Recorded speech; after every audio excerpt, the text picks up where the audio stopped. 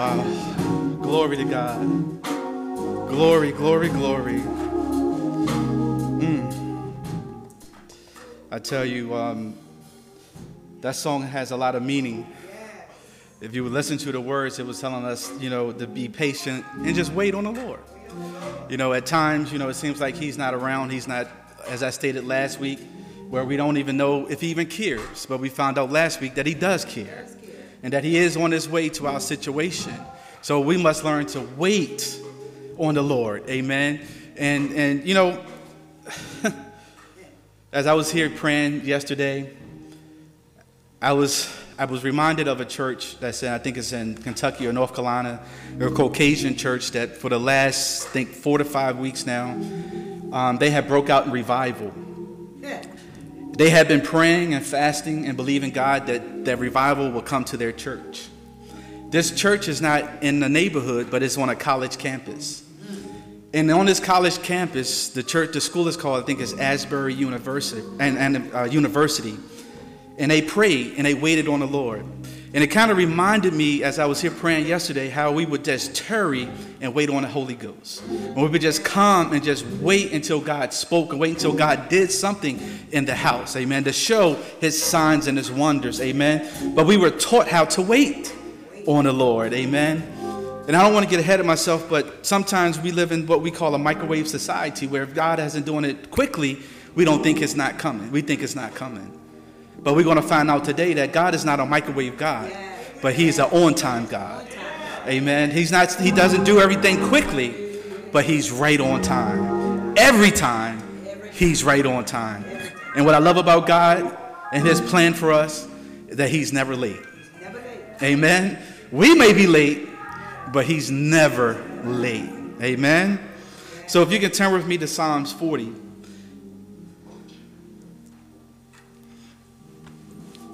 And as I always say, sometimes I get very excited because I'm the first partaker of it. And I haven't learned how to harness the Holy Spirit. If you have learned how to harness the Holy Spirit, God bless you. But I have not learned yet. So I get a little excited when I'm teaching or reading the Word of God because that's how much it means to me. It may not mean much to you, but I believe when I read God's Word and it hit a nerve or hit something within me, as Pastor said this morning, when Brother Marcus hit a tune, it set the tone for the worship service. Amen. That's the same way it is with God's word. Amen. You can read the scripture over and over and over again, but one day you're going to read it. And as I said a few weeks ago, it's going to spark something deep down in your soul. Amen. And that's what I love about God's word because when you need it, Amen. You could just be looking at a morning devotional. But when you need it, amen, in that devotional is going to be the word for the day for you. In that devotional is going to be how you are to guard your heart, guard your mind, and live your life that day. Because in his word, amen, is going to guide and lead us and, sh- and show us how to have victory in, the, in this world.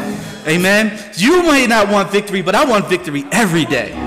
Amen. I don't want to walk around defeated. I don't want to walk around looking at other people be successful, other people doing great things for God. I want to be part of the plan. I think it's Bishop Morton that sings the song, God, whatever you're doing, don't do it without me.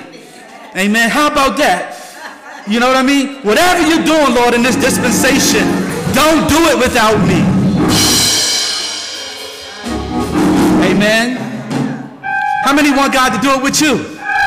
Amen. How many want to take part in God's plan? Amen. All right. God, Psalms 40. Psalms 40. And I want to read this verses 1 through 3 to you today. I'm reading from the New Living Translation because it really sets home this point on this morning. Starting at verse 1, it reads I waited patiently for the Lord to help me. He turned to me and heard my cry. He lifted me out of the pit of despair, out of the mud and the mire. He set my feet on solid ground, and he steadied me as I walked along. He, glory to God. He steadied me as I walk along. As I walk along, He has given me a new song to sing, a hymn of praise to our God. Many will see what He has done and be amazed that they will put their trust in the Lord. They will put their trust in the Lord. And our theme today is I waited patiently on the Lord. Dear Heavenly Father, we come before you this morning. We thank you for this word of God on today. We ask you to be in the midst of our service on today. We ask you that you would uh, just word my mouth as I share your word on today. I decrease that you may increase, and I pray that something will be said to encourage all of our hearts on this day. We thank you and we give you glory and we give you honor. In Jesus' name, amen. Amen. You may be seated and give an honor to our pastor. We just thank God for his word. As I stated today, um, we must learn to wait patiently on the Lord. And, and as I was uh, studying, and I said, Lord, how can I engage the people and get them thinking about waiting? And the Lord said, uh, talk about a meal. And I don't know about you all, but how many of us remember the time where we didn't have a five minute microwave meal? Amen. Where in the kitchen, your mom or your grandmom on a Sunday or on a uh, Thanksgiving or Christmas or whenever it may be, in the old days, it was every day. Amen. It wasn't no side days where the day was not, they were in the kitchen all the time.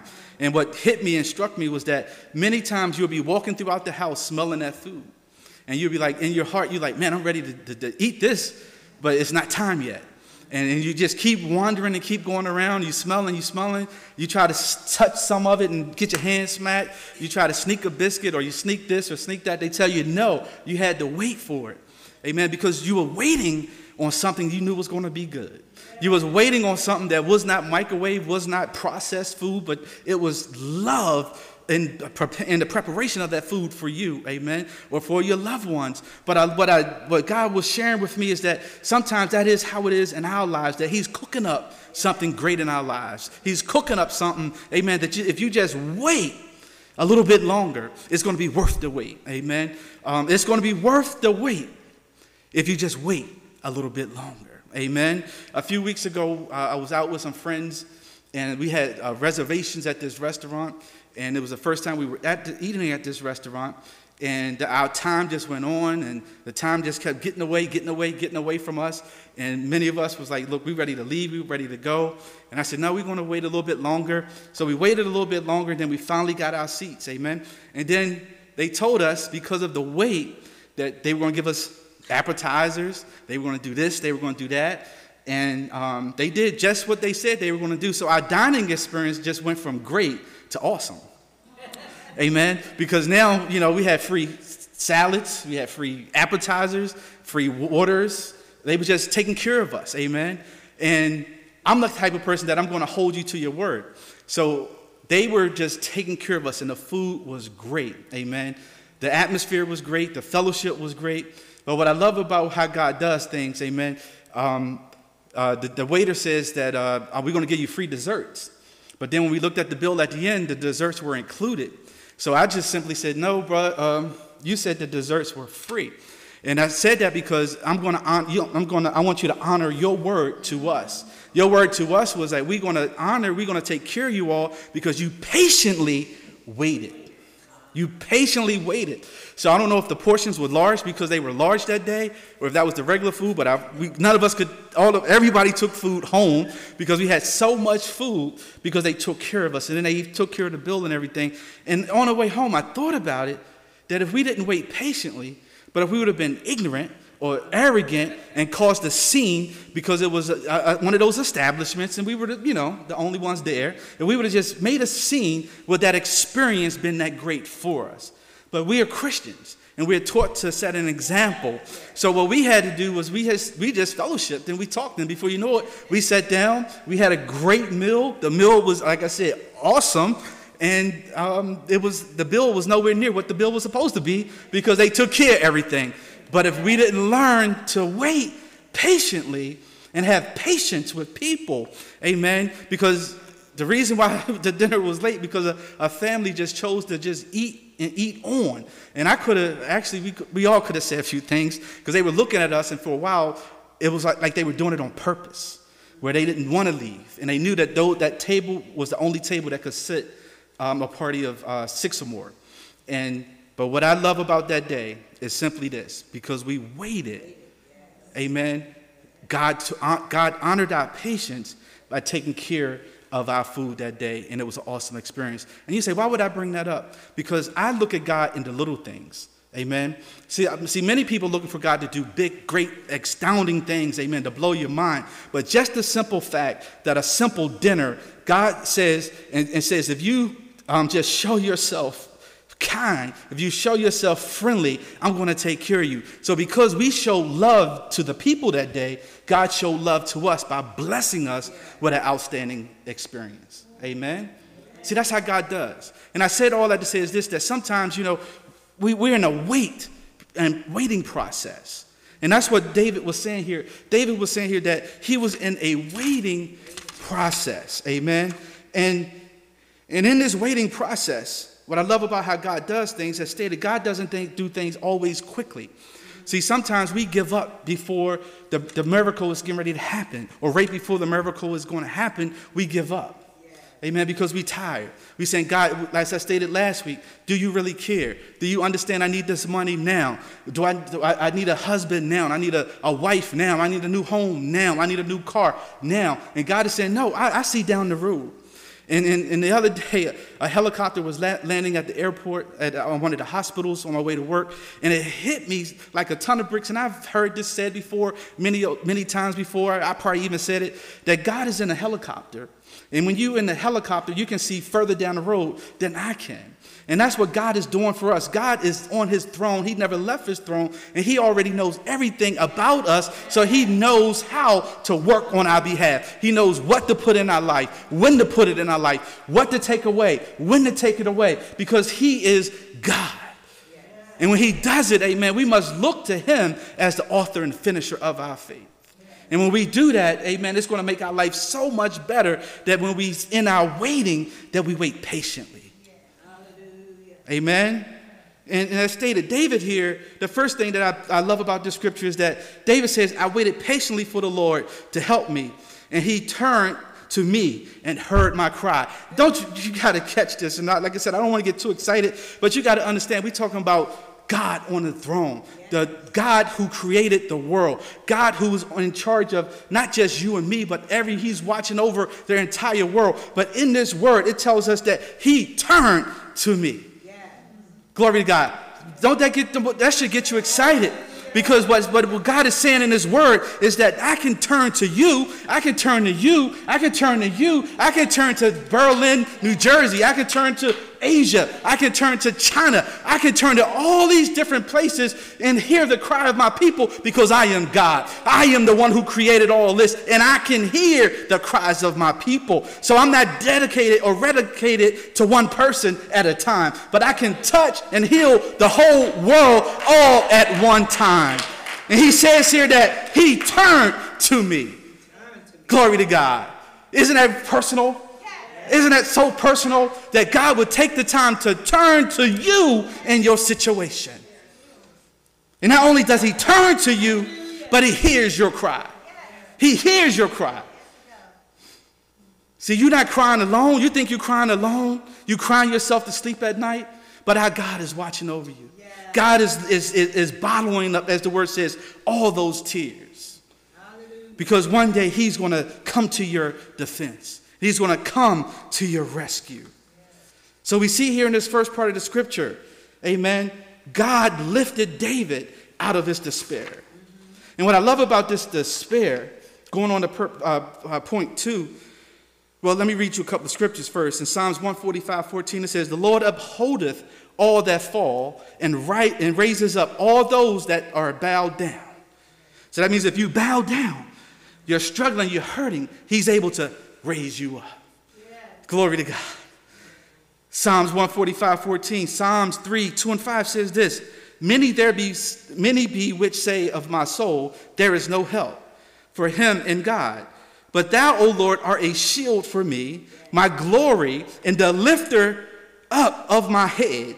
I cried unto the Lord with my voice, and he heard me out of his holy hill. I laid, I mean, yeah, I laid me down and slept. I awake, for the Lord sustaineth me.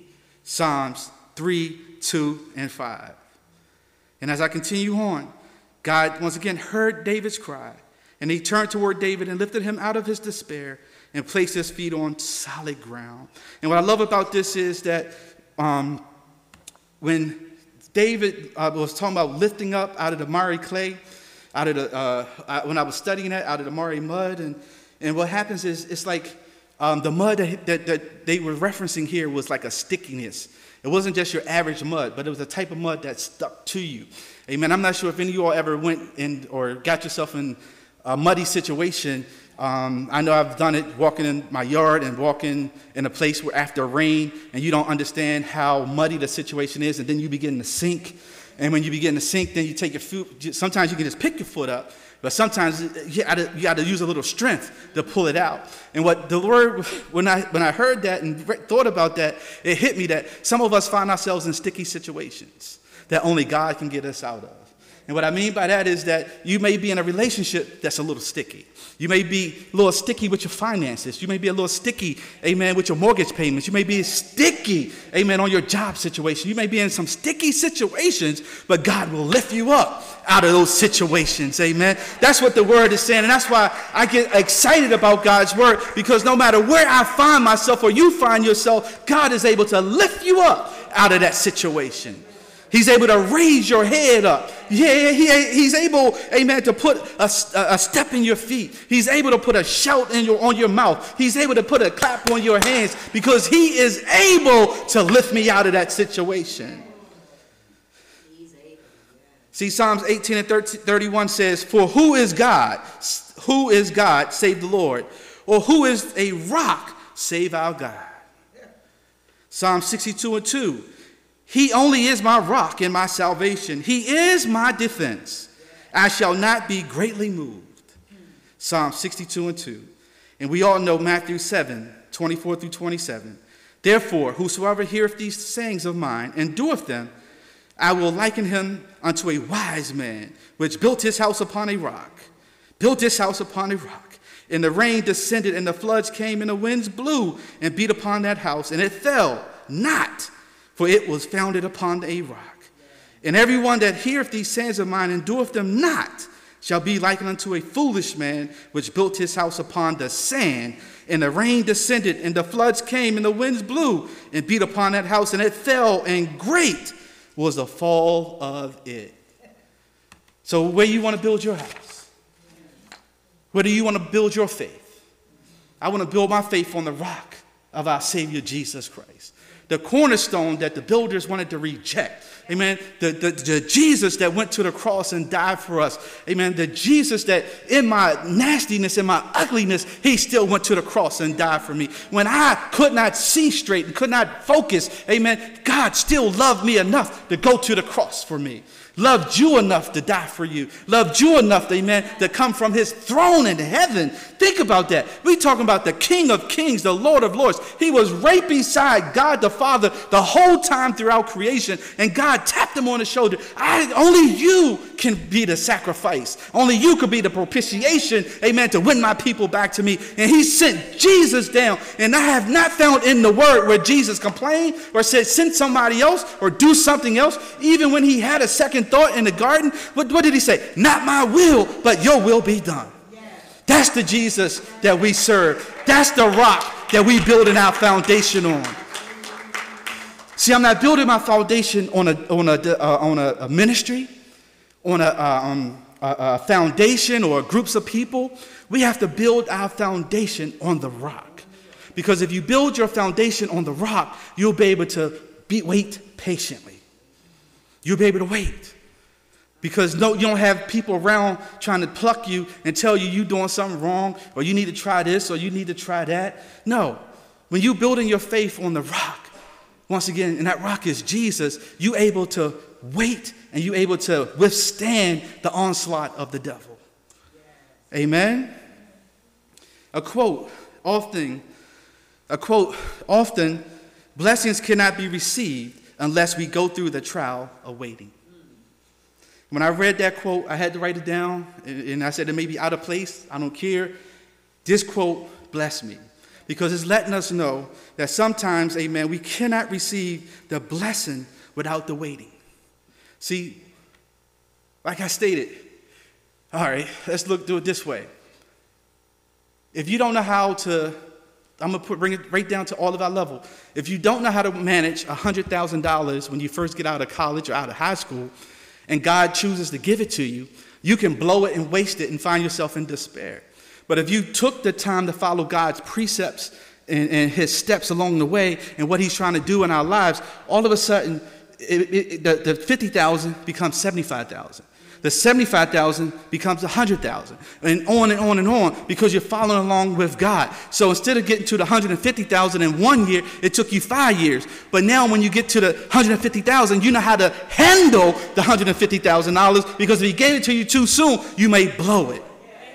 So that's why I love God. And that's why we got to be patient on Him. Because if you give Him your whole life, He's going to order the steps. And the Bible tells us your, the, orders, the steps of a righteous man are ordered of the Lord. And if you just listen and follow His steps, the husband going to come. The wife is going to come. The finances is going to come. The relationship with God is going to come. Your level of understanding of the Word of God is going to come. But we must be patient. Don't go ahead of God. And I love that because Overseer used to say that all the time. Let's not go ahead of God, but go along with the process. Amen? And after God takes you out of the miry clay and he places your feet on a solid rock, amen. The Bible says that in what we just read today, he says that, look, now, amen, he's going to steady me as I walk. Amen. You know what the importance of the steadiness is?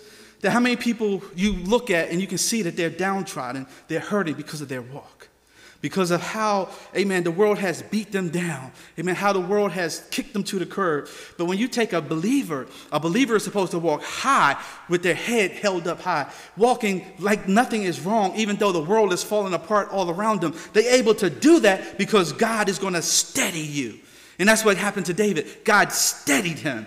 Do you catch that? That, that in the midst of my storm, amen, I can be steadied. I'm not sure about you, but some of the storms I went through, amen, and still going through, amen, I'm a little tossed. I'm a little going a little left or a little right, a little, a little crazy. But the Bible says that God will steady me. And that's why he and that's why he says in his word, Amen, be still and know that I am God. Amen. So while we all in, walking in anxiety, stressing out, God is like, look, I think sometimes if I could just say how Kenny would say it, son, just chill out. I got this. You, you're around here stressing for no reason. You're around here ready to, to jump off the bridge, and, and, and, there is no bridge going to come your way because I'm in charge of your life, so I'm not going to bring a bridge by you. So ain't no jumping off the bridge, so you might as well just wait because I'm bringing the solution to your situation. Amen. And then after he steadies me, and this is what I love because Pastor even was talking about it on the on Thursday night with on the broadcast, amen, that he's going to put a song of praise in your mouth. And that's what happened to David. Amen. After after glory to God. Glory to God. You got to catch this in the spirit. Amen. It says, He has given me a new song to sing. A new song.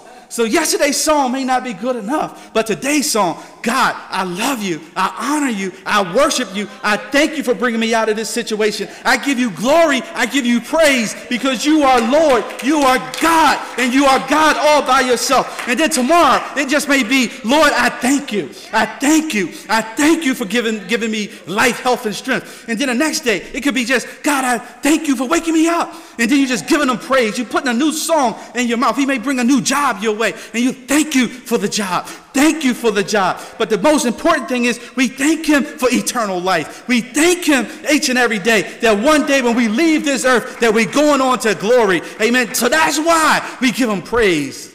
And that's why we give Him glory. I think that's a song I give Him glory, I give you honor, I give you praise. Uh, I forget the, the, the singer, but uh, um, it's a nice song because He's telling us each and every day, amen, to give Him praise, give Him honor Give him glory. Psalms 98 and 1 says, Oh, sing unto the Lord a new song, for he hath done marvelous things. His right hand, uh, with his right hand in his holy arm, have gotten, gotten me the victory. Glory to God. Sing unto him a new song. Psalm 71 and 23 says, My lips shall greatly rejoice when I sing unto thee, in my soul which thou hast redeemed. Psalm 71 and 23. And I love this because uh, I, I get so reminded of dad and mom.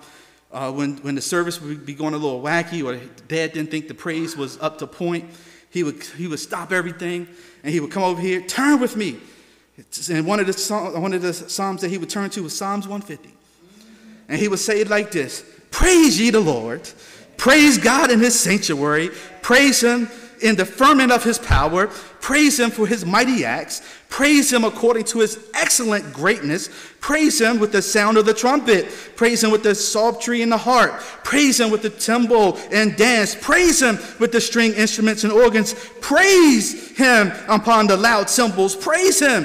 Praise him upon the high sounding cymbals. Let everything that have breath praise ye the Lord. Let everything that have breath Praise ye the Lord. Praise ye the Lord. Glory to God. Isn't that awesome?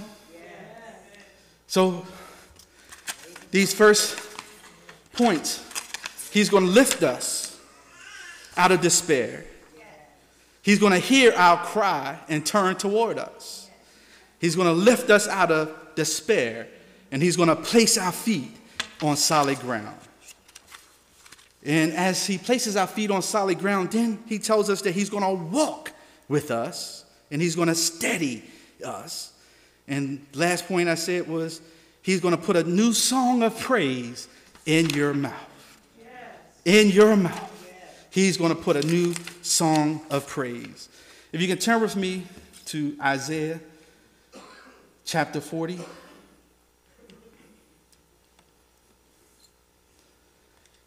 And we're going to wind this down. We're going to read these four scriptures. Once again, I'm reading from the New Living Translation Isaiah 40, verses 28 to 31. It says, starting at verse 28 Have you never heard? Have you never understood? The Lord is the everlasting God, the creator of all the earth. He never grows weary, a weak, I'm sorry, never grows weak or weary. No one can measure the depths of his understanding. His power, he gives power to the weak and strength to the powerless. Even youths will become weak and tired, and young men will fall in exhaustion. But those who trust in the Lord will find new strength. Glory to God. Those who trust in the Lord will find new strength. They will soar high on wings like eagles. They will run and not grow weary. They will walk and not faint. Glory to God. And this is where I got to slow down because I, I, know I'm going to get excited because you got to understand this. In this particular verse, amen, God is letting, letting the children of Israel know. The children of Israel find themselves in a situation where they're in captivity. They're in Babylon, amen. So uh, uh, the prophet Isaiah, amen, was sent to them to give them this word of encouragement, amen. And this word, this is what he's sharing with them.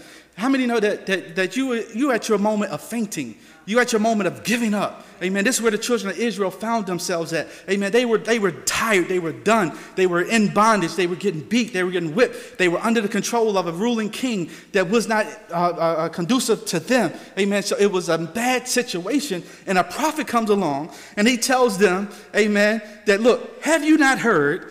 Have you never understood that God is a everlasting God, the creator of all earth? Glory to God uh, uh, he never grows weak or weary. No one can measure the depths of his understanding. And then he says, He gives power to the weak and strength to the powerless. Glory to God. He's letting them know that at their weakest moment, and this is where I've learned uh, years ago uh, studying um, when we raise our hands, and one of the things it says when we raise our hands in direct praise and worship to God, that means that we're surrendering all. Many of us believe that, that you know, when the police come and he tells you put your hands up, but in worship, amen, we're saying to God that I surrender all to you. All to you I owe my praise. All to you I owe my worship. All to you I owe my honor and glory. It's all to you because I surrender all to you. And when we surrender all to Him, it's saying that I'm going to let go of my understanding and let go of my strength. Now I'm going to stand on God's strength and I'm going to stand on God's power. So to the weak, amen, He says that I'm going to give you strength. Not only am I going to give you strength to face tomorrow, but I'm going to give you power, amen, to walk on through that situation. That's what he says here in his word. It's not what I'm saying, but it's what his word is saying. His word is saying to the weak, you're going to be strong. And not only are you going to be strong, but I'm going to make you, I'm going to give you power. And I talk about this, I laugh at when I said it many years ago, when you when you cutting your teeth, when you learn how to speak. Uh, I, I always thought about when the Holy Spirit came upon a situation or upon you. Amen. It was like Clark Kent when he went into a phone booth. He went in one way, but he came out another way. How many know that when we walk in the presence of God, Amen. We, we don't look the same. We don't talk the same. We don't act the same, but it gives you a supernatural power that you believe that you can walk through walls because the Holy Spirit is now come alive in you and you think that nothing can harm you, nothing can touch you because it's not you thinking any longer, but it's the Holy Spirit within you that has come alive. Amen. So I call it the Superman that's on the inside. Amen. If you want to be Batman, be Batman. Amen. Be whatever. But I love Clark Kent because he went into a booth and he came out. How about us? We go into a church and we come out. Amen. We go to the altar and we go away. We go to the pray to the altar and worship and praise God and ask the Holy Spirit to come and reside on us and we walk away with power. And what I love about this power is it's not just made for the church, but it's made for outside the church. See, that's the problem that, that, that, that, when we have the love factor that we are missing in our world today, it's because the people are walking in their own strength and they're walking in their own power. That's why the people that have strength and have power can love the unlovable, can love those that despitefully use them, can love those, amen, that don't care about them. It's all because of the strength and power that God has gave us. Glory to God. And as you move on, Many of us get tired and weak. I think about as we age. Amen. Um, many of us can't do the same things that we did at 21. And I'm still young, and I've been saying this quite a bit lately. I don't know why, but I guess because all these different pains and breakdowns on you, that's happening, and how I want to do certain things. But I can't do some of the some of the things that I used to do. Amen. So what that's telling me is that look, at some point, Amen that even the young men will fail. And what it's talking about these young men is these, th- this word is talking about vibrant men, vibrant young youth that's able to do great things, move stuff around. It kind of reminds me of uh, Deacon Jason. You know, you tell him to move one chair, he got three, four together, moving them. Um, or he just does extra because he is that way. Amen. But even he is going to one day get weak and that strength is going to fail him. And that's just like what's happening in this scripture to the church of, uh, to the children of Israel, the Israelites, where even the young men begin to fall in exhaustion. Amen. And it's letting us know that, that it's not just going to be the old that's going to fall in exhaustion or could fall into exhaustion. It could be young and old. And it's going to be a point where we all going to need the strength of God to come alive in our lives. Nowhere where you find yourself in a walk of life, amen, you're going to need God's strength and you're going to need his power at some point. And I, I, I said some point, but I think I need his strength and power every day. Every day. Amen. And then verse 31 says, But those who trust in the Lord will find new strength. And that's what I love about God. Because our trust is in the Lord.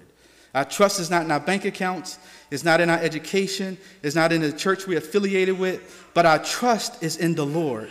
And when we put our trust in the Lord, we will find new strength. And then what I love about this strength is that it's going to uh, put a spirit, such a spirit in you that um, it's going to cause you to soar on wings like eagles. And what I love about eagles, and I've been just studying more and more about it, not just for this lesson, but uh, uh, just reading about them because I, I, was amazed on Facebook the other day. They showed this huge eagle getting ready to come down. And, and we know that uh, eagle can see miles and miles away on their prey. So they don't have to come up on their prey to, to find their prey, but they have already scoped out And they already had planned where their prey is going to come from, from miles away. So this eagle came, and it was only by, I guess, grace of God that when he swooped down, he realized that it was a human. And, and then when he realized that it was a human, he flew on by. But what made me so uh, amazed was his wingspan. His wingspan was, uh, they, the, um, the, the particular writer says, almost nine feet long. Amen. His wingspan. So when he came by this gentleman that was swimming, and it looked like a little, little, little, little, little dot compared to the eagle that was going by. And what I love about an eagle is that it goes the heights that the normal birds don't go. Please catch this. Some of the people we hang with and roll with, as they would say, can't go to the heights and depths that God is trying to take each and every one of us to.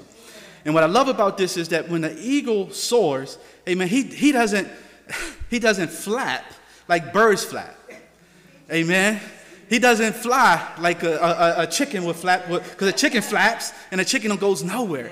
But an eagle don't flap. Amen. The eagle has a sense that when the presence of air, the turbulence of air is coming by, the, the, the, the, the writers and, the, and what I've studied says he would just open his wings and begin to fly. And not only will he fly, but each level of that wave, that air wave that he's on, takes him higher and higher. Amen. And, and I read it that he's, he can get up to 30,000 feet. And how many know that that's normally where airplanes fly because they want to get over storms, they want to get over dangers, they want to be able to get to destinations faster. So they take them up to 30,000 feet to soar above the situations below. Glory to God. So this is what God is saying in His Word here is that I'm going to give you strength. I'm going to give you enough power that you're going to be able to soar over your situation. You're just not going to be able to be at eye level, but I'm going to give you power and strength to soar over your activity, over the devil. Amen. Over every situation, you're just not going to be at level, eye level with the enemy, but you're going to be able to soar over him and look down. That's what I love about the eagle. Because many birds, say, they can't get that high. Many friends can't get that high. And we're going to ride the wave of God's glory. And that's what that eagle does. It rides the wave of nature. And, it, and it's just amazing to me that you very rarely see them flap. They just glide. And that's what God is saying that when you're weak, I'm going to give you strength. Not only am I going to give you strength, but I'm going to give you power to be able to glide and soar over every situation in your life. But the point is, you can't get it if you rush me. You can't get it if you're not patient. You can't get it if you just don't wait a little longer. But if you wait, he's telling us, and he's telling the children of Israel, if you just wait on me, your captivity may be hard and harsh right now, but one day I'm going to give you the power to get through it. But one day you're going to look back and realize that you begin to soar over that situation. Amen? And you become the victor and not defeated. The key is to wait on the Lord, even when you think you can't take another step. He gives us all strength today. Are you worried today? Do you feel overwhelmed? God invites you to come to Him and find hope and strength in Him today. In our waiting, we must believe God will lift us up, set our feet on solid ground, steady us in every situation, give us a new song because He has come through for each and every one of us. Amen. Amen. Amen. Wait patiently on the Lord. Amen. Can we all stand to our feet? Glory to God. Wait patiently on the Lord. And before I give the, the salvation call, you know, just yesterday when I was praying, I always look up here and I, I, sometimes I just feel like I'm talking to dad. and I'm like, Dad, I need help. You know, um, this is a huge vision that you're giving mom and, and uh, to carry on. And I would, I be praying, like, Lord, I just want to be a helpmate. I just want to be there to help and assist mom.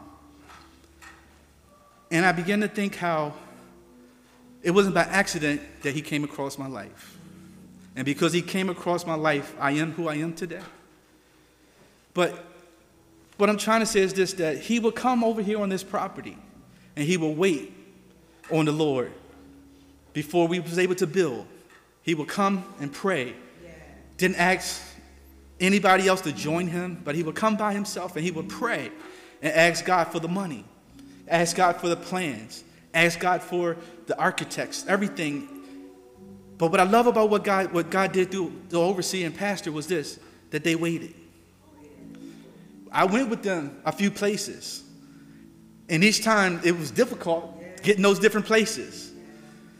And but God said, No, I'm going to put you in the community. And here we are, restoration, on 33 acres of land that we thought we couldn't get. 16 and a half acres, yes. That we thought we couldn't get. But God worked it out because we were patient. It didn't take a huge number of people. And that's something that I'm learning even more. It took a Gideon army to get this church built and get this, uh, this land purchased because we were just a small church at that time. But God put the church in our hearts of our pastors.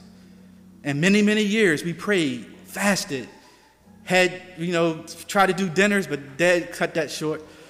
Uh, tried to do a few things. But when the time was right, we got the property. And when the time was right, the people came along to help build the church. Members that are not even here today, but had great um, responsibility in this church even being built, in this land even being, being got. But God did it because our pastors learned to wait patiently on Him. And what am I saying to you? That whatever your situation is, let's learn to wait patiently on Him. Because when the first day we came in this church, you thought worship was great today. I would never forget that day because the, the, the, the, church was on fire. The worship, the organ, the drums, the, every, everything was rolling because it was such a beautiful thing. Because what was just a picture on a wall became reality.